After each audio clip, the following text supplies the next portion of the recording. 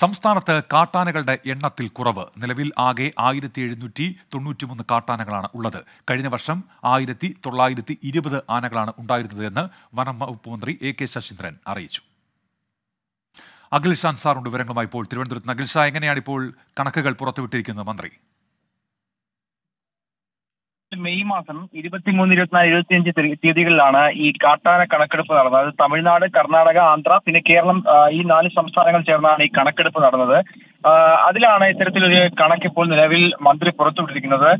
ഈ കേരളത്തിലെ വനങ്ങളിലെ കാട്ടാനകളുടെ എണ്ണം അത് ആയിരത്തി എഴുന്നൂറ്റി തൊണ്ണൂറ്റി മൂന്നിനും ആയിരത്തി എഴുന്നൂറ്റി തൊണ്ണൂറ്റി അഞ്ചിനും ഇടയിൽ എന്നുള്ളതാണ് മന്ത്രി വ്യക്തമാക്കിയ ഒരു കാര്യം. ഒപ്പം ആ, ആയിരത്തി തൊള്ളായിരത്തി ഇരുപത് ആനകളെയാണ് രണ്ടായിരത്തി ഇരുപത്തി മൂന്നിൽ കണ്ടെത്തിയിരുന്നത്. അതുകൊണ്ട് തന്നെ ഈ വർഷം ആനകളുടെ എണ്ണത്തിൽ ഒരു കുറവുണ്ടായിട്ടുണ്ട്.